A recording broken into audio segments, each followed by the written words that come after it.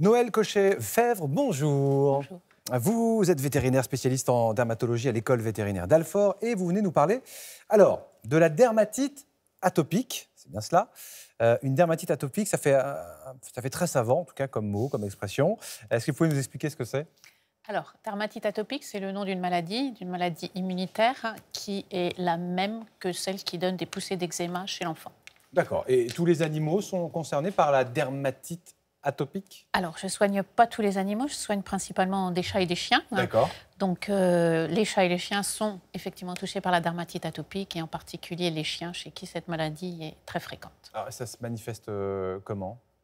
Alors, ça se manifeste euh, classiquement quand la maladie s'exprime de façon classique par des rougeurs et des sensations de démangeaison qui ont tendance à démarrer dans ce qu'on appelle les zones de plis, c'est-à-dire les oreilles, les paupières, les yeux, les lèvres, les doigts région périanale et puis ventre, région ah, axillaire, région inguinale. Donc, ah ben voilà. Donc, euh, des photos avec euh, un petit Jack qui est atteint de dermatite atopique. Cliniquement, ça peut paraître un peu discret, mais vous ah voyez qu'il y a des rougeurs en région euh, axillaire, hein, en région donc la, région axillaire, les oreilles et une otite. c'est très discret. Hein, on voit les lèvres, oui, oui. Mais quand on parle de dermatite, on peut penser à des, à des plaques. Tout à fait. Mais le fait que ce soit discret ne veut pas dire que ça gêne pas énormément, parce qu'il y a des chiens qui sont extrêmement cliniques et, il y a des chiens qui sont discrètement cliniques et qui, par contre, se grattent beaucoup parce que cette maladie est assez désagréable. Alors, comment on peut le, reconnaître à, à l'œil nu? C'est-à-dire que si on a, comment on sait que son chien a une dermatite? alors le diagnostic, il est clinique, donc effectivement, à l'œil nu, on reconnaît. En fait, on reconnaît les régions qui sont atteintes et qui sont des régions caractéristiques de la dermatite atopique, en sachant que chaque individu est un petit peu différent. Donc il y en a qui feront plus ce qu'on appelle les petits plis, c'est-à-dire les doigts, les oreilles, et puis il y en a qui font ah plus les grands plis comme vous voyez ici chez ce croisé dog argentin, hein, qui présente une forme aiguë et grave de la dermatite atopique. Donc en fait, il y a différents stades aussi. Il y a des dermatites atopiques pas graves, qui ne dérangent pas.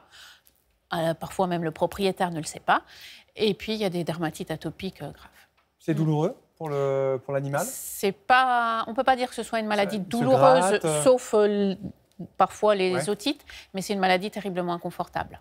Donc ça empêche le chien de, vivre quand les démangeaisons sont intenses, ça l'empêche de jouer, ça l'empêche d'avoir des interactions euh, avec les autres. Euh. Alors comment on l'attrape, on sait euh, Comment on attrape une dermatite atopique? Alors la dermatite atopique, c'est une maladie qui est polygénétique. Donc en fait, on est avec cette prédisposition, ah, mais c'est pas parce qu'on a prédisposition qu'on va l'exprimer. Voilà. Et du coup, eh ben, on peut la développer. Souvent, elle se développe chez l'animal jeune, mais elle peut se déclencher à n'importe quel âge de la vie si on a cette prédisposition, parce qu'en fait, c'est une maladie qu'on a en soi, mais qui peut être aggravée ou déclenchée par des facteurs environnementaux. D'accord, mais comme chez l'homme, parce qu'il y a aussi des dermatites euh, chez l'homme, on a tous euh, voilà, ce sorte de champignon qu'on développe ou pas, si on est un peu stressé, si euh, ça, peut être aussi. Tout à, fait. D'ailleurs, chez l'animal, pareil, c'est l'environnement joue un rôle, que ce soit par exemple, avoir une infestation par les puces. Mais l'alimentation peut jouer un rôle. Parfois, les aéroallergènes peuvent jouer un rôle. Parfois, le stress peut jouer un rôle. D'accord. L'hygiène alimentaire aussi Ce qu'on peut donner à notre, animal peut déclencher?